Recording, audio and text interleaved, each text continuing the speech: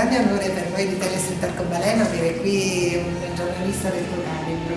Non esageriamo. Sì, veramente, la penisola ti ha accolto con un grande calore che penso abbia sentito. Assolutamente, sono stato molto contento di venire.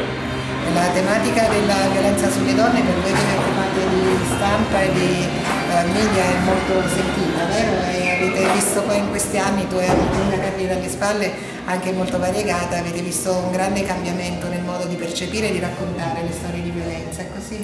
Sì, la, consapevolezza del fenomeno è molto cresciuta nei giornalisti, nella stampa, nei media.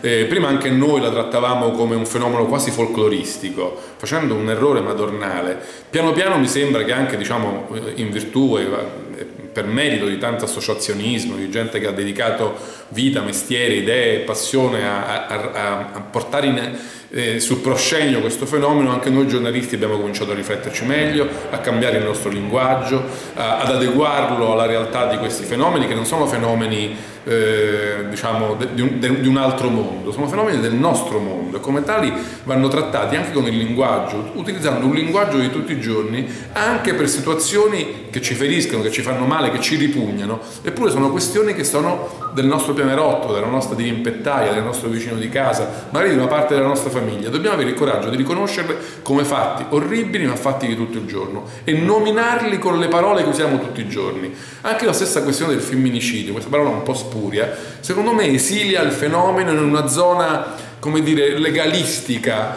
che non ci fa percepire esattamente diciamo, l'ampiezza e la vicinanza del fenomeno. È una brutta parola per una brutta storia, però forse dovremmo abituarci a utilizzare parole più semplici, più vere, più consuete per, per trattare un argomento vero e consueto.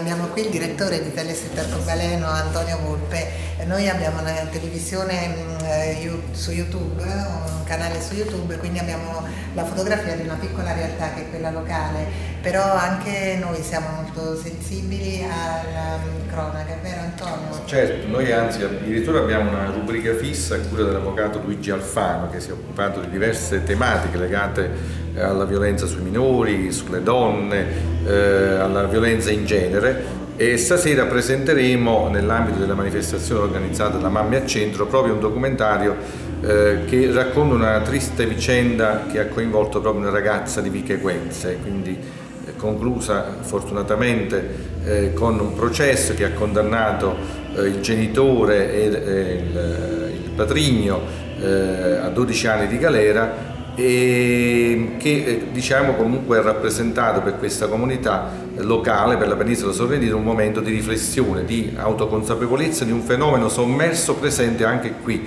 nella ridente penisola sorrentina. Quindi come Telestreet siamo eh, sempre pronti a registrare anche questi eventi. Dunque il messaggio di voi giornalisti è che nel piccolo come sullo scacchiere nazionale e internazionale come quello di cui si occupa Giancarlo è sempre importante esserci e segnalare perché dall'informazione nasce la coscienza sociale e la ribellione al riscatto. Assolutamente. Grazie, Grazie a voi. Grazie. Grazie.